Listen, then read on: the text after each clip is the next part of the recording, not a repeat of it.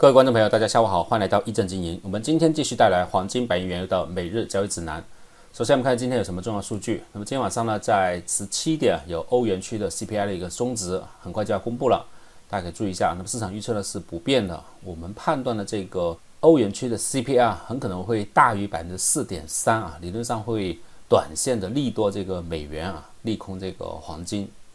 但是黄金呢也不会出现很明显的那种下跌，因为你欧元区的 CPI 的反弹呢，就表示啊，你还要去加息啊，所以这个消息呢，对于黄金呢，应该不会产生特别大的一个呃行情波动。另外，在八点三十分呢，有美国九月份新屋开工总数的年化以及营建许可总数，那么这两个数据呢，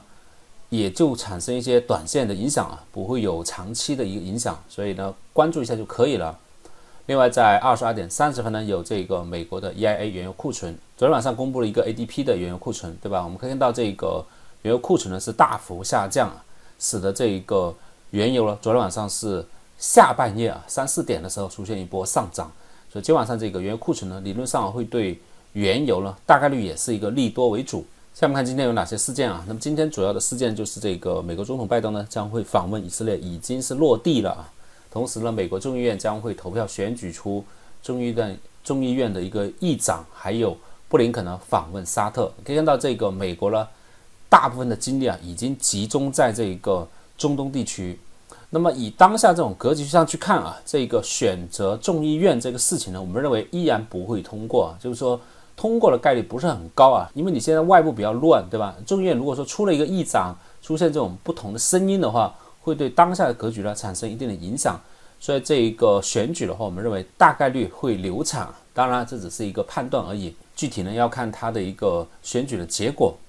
下面看市场投资情绪，那么市场投资情绪，我们看到美元的看涨情绪是百分之三十九点九一啊，看跌情绪是百分之六十。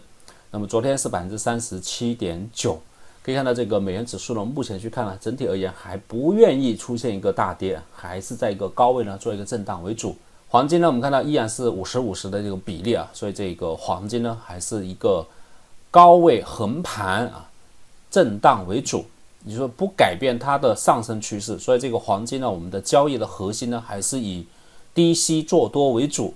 那么做空呢，你可以清仓交易为主啊。下面看一下基本面啊，首先呢，最重要的还是这个巴以冲突的一个问题啊。那巴以冲突，我们看到现在已经上升到国际博弈，我们看到我们看到这个布林肯呢在。以色列呢是来来回回的去做一个访问，来来回去做一个说服，对吧？目前呢已经表示了谈妥了这个人道主义物资的一个进入，但是我们看到以色列呢并不给这个面子啊，这个口岸呢其实实际上根据新闻的报道呢，其实还没有正式的开放，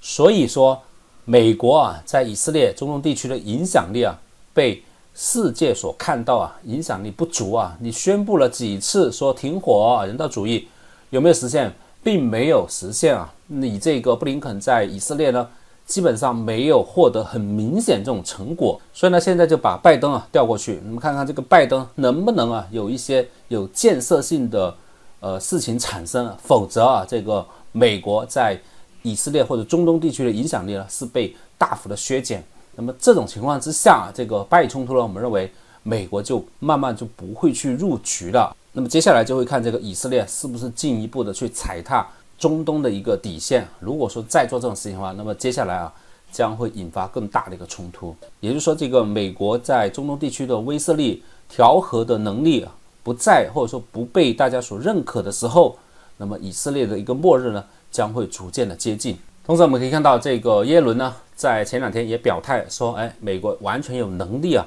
提供给乌克兰和以色列两方面一个援助。但是，请大家不要忘了啊，在耶伦之前啊，那他们的另外一个发言人啊，新闻部的一个发言人呢，已经明确表示呢，对乌克兰一个援助已经接近尾声啊，所以前后矛盾就足以看到了，美国在应对巴以冲突这个事情之上呢，是已经有点乱了阵脚啊。当然了，这只是我们个人一些猜测或者说判断以及一些观点的一个分享啊，具体呢要看实际的情况啊，毕竟这一。毕竟现在的世界格局呢，不是一个普通人可以完完全全解读出来的。下面我们看一下今天有哪些基本面啊。首先第一点就是俄罗斯啊撤销对禁核式条约的批准，这个很重要啊。我们这个消息是直接刺激这个黄金呢出现一波上涨。当地时间周二十月十七号，俄罗斯的国家杜马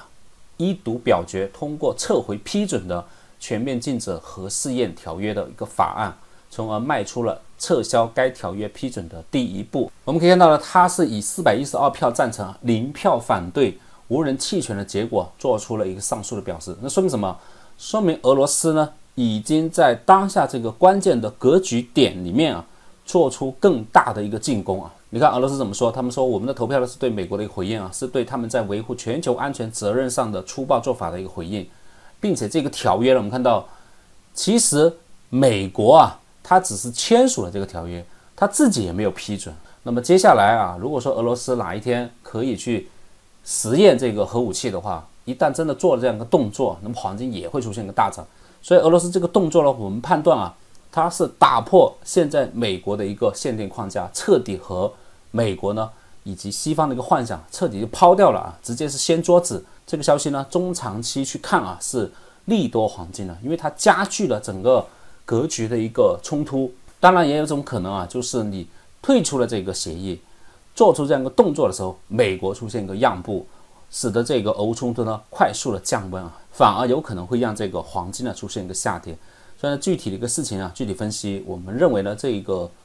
事情啊，整体而言还是一个偏利多黄金为主。第二点，我们看这个日本央行呢宣布进行计划外的一个购债啊。我们看到日本央行日本十年期的政府债券收益率呢，在周三呢攀升至十年来最高水平，原因是全球的债市集体遭到抛抛售。比如说现在不光光是美债了啊，什么日本债啊，其他国债呢都出现一个抛售啊，大家都不相信这个所有的一个债务问题，都愿意啊去拿现金。那么这个消息其实理论上呢也是利多这个黄金为主的，所以黄金在整体的格局上去看呢，还要接近一个上升啊。目前呢，日本债券受到抛售的主要原因是什么？是外界猜测呢，日本央行啊正接近结束其负利率的一个政策。那日本央行呢，周三也是快速的行动啊，宣布了一项计划外的购债活动。日本央行提议从十月十九号开始直接购买三千亿日元的日本国债。那么这三千亿呢，是买这个短期债啊。这一种期限还有五年、十年这种债券呢，去购买这一部分，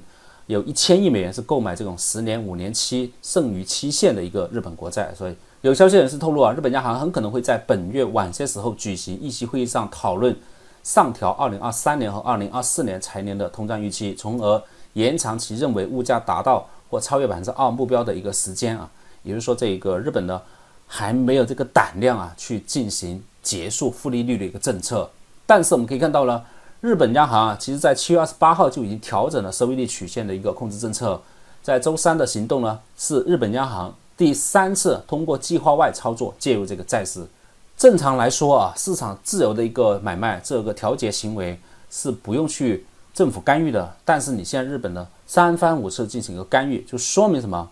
说明你的金融市场呢，逐渐啊失控啊。一旦失控了，就表示。日本的这个经济啊，很可能随时出现很大这种变动，所以这个消息呢，会潜在的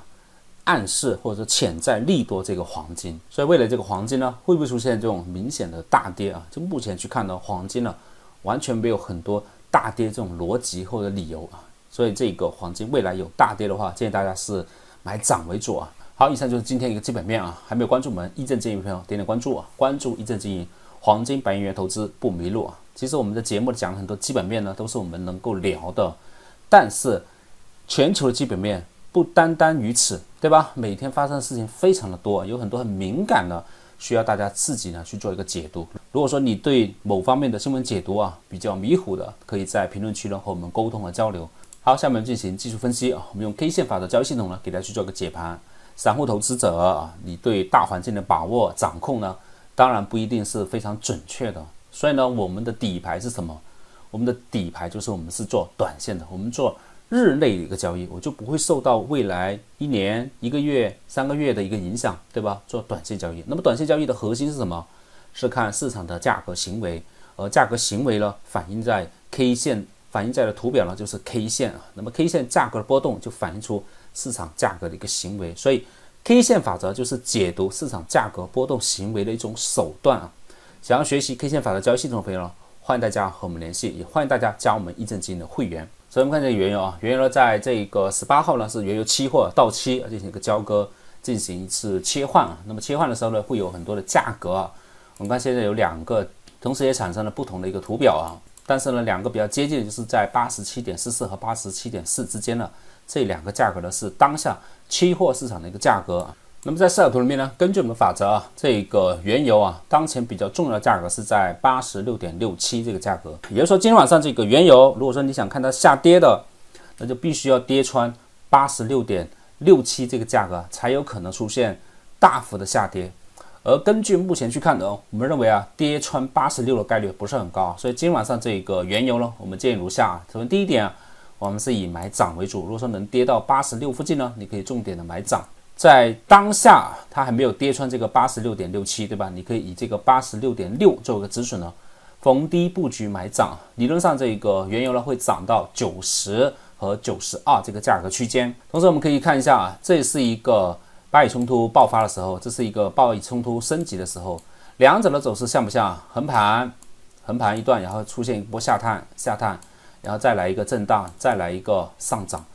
在神符图里面呢，这个原油啊，我们认为呢，理论上会涨到八十八点一六和八十八点八九这两个价格。那么这个原油根据当下的一个格局啊，我们可以看到了，不会出现特别巨大的一个上涨，所以今晚上呢，突破八十八点八九的概率啊，不会很高啊。建议大家可以注意一下啊，低吸为主啊，低吸做多，重点关注呢八十六点六啊这个价格。如果说八十六点六破掉，那就会跌回这个八十六附近。下面看一下黄金啊，黄金在色彩图里面呢，根据我们的法则啊，今天晚上大概率会在幺九二七和幺九五四之间呢横盘震荡啊，但是还是以做多为主，多空分界呢是在。幺九二三这个价格，所以这个黄金呢，就所以这个黄金你想做一个布局的话，你可以考虑以幺九二三作为止损呢，逢低买涨为主。那目前呢，要不要去追多呢？可以看到了，它当前是一个震荡的区间啊，震荡区间。